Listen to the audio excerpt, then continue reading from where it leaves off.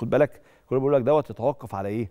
يتوقف على قدرة نادي الزمالك على إنه آه، يرفع موضوع إيقاف القيد عنه. عشان لو الزمالك ما قدرش عشان لو الزمالك ما قدرش هتلاقي بتتكلم لو الزمالك ما قدرش يرفع آه، الإيقاف بتاع القيد هيبقى محتاج كل لاعب عنده في القائمة وبالتالي مش هيعرف يبيع أي لاعب لا شبانة ولا عبد الله ولا أي حد. هيسيب كل اللاعبين اللي موجودين حاليا يعني.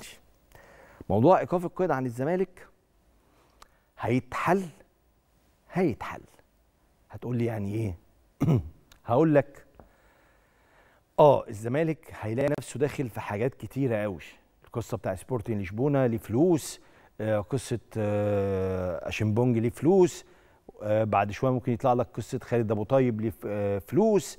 الزمالك هيلاقيه عنده بلقاية فلوس كده حلوة تقيلة يعني تزعل يعني تمام؟ بس الزمالك هيدفعها هتقول لي إزاي؟ مفيش فلوس. هيدفعهم. ما فيهاش. ما أعرفش إزاي أنا عشان برضو ما تقولش انه هيدفعهم دي اللي هو كريم عارف المعلومات.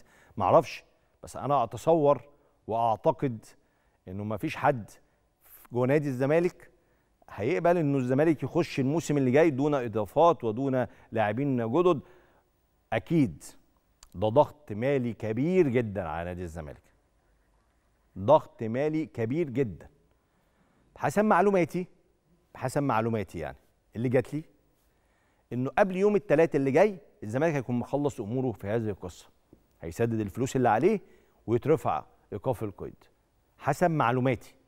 هتقول لي إيه؟ ما هو ممكن ما يلحقش يدفع أو ما يدفعش قبل يوم الثلاث هقول لك تبقى الأمور اتغيرت. بس المعلومات اللي بتجيلنا بتجيلنا منين؟ من جوه نادي الزمالك.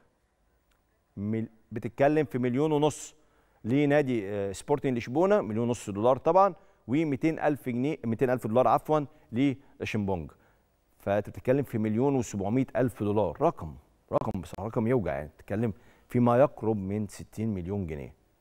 كبير رقم ضخم يعني. بس لازم خلاص. ماشي. يعني مش وقته بقى إيه؟ مش وقته إن إحنا نأنب الأمور كلها على جماهير الزمالك يعني. قال مين غلط ومين ليه وإزاي وفين وكنت بتجيب ليه وبتشتري ليه وتبيع إزاي وكل التفاصيل دي على جنب بقى دلوقتي.